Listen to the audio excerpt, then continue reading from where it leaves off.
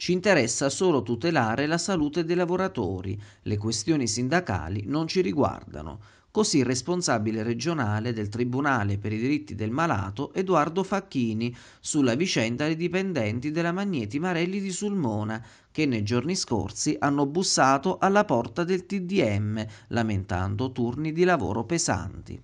Stando a quanto riferito dai lavoratori, il cumulo del riposo giornaliero e settimanale non sarebbe pari a 35 ore, come stabilisce il decreto legislativo 66-2003 all'articolo 4. L'azienda inoltre permetterebbe ai dipendenti di lavorare per sei giorni consecutivi.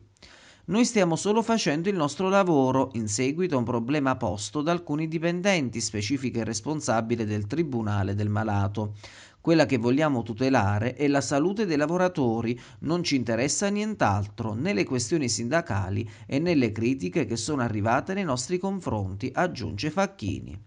Il Tribunale per i diritti del malato più di una settimana fa, tramite il legale Katia Puglielli, aveva scritto ai vertici della Magneti Marelli chiedendo un incontro per valutare la corretta applicazione delle norme e aveva dato incarico a medici di fiducia per verificare se fosse stata lesa o meno la salute dei lavoratori.